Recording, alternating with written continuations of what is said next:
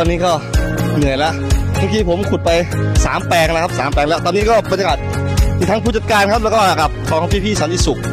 แล้วก็ของน้องๆนักเรียนเราตอนนี้กำลังขุดผักขุดแปลงผักกันอยู่ขุดดาหญ้ากันอยู่เลย ครับไปชมบรรยากาศเลยครับ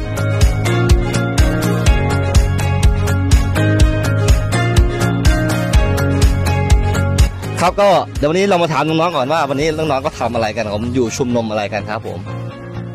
ปลูกปลูกผักค่ะครับผักวันนี้ก็จะมาถอนหญ้าแล้วผักผักที่เราปลูกตอนนี้มีผักอะไรบ้างครับโหระพาโหระพาพริกพริกผักชีผักชี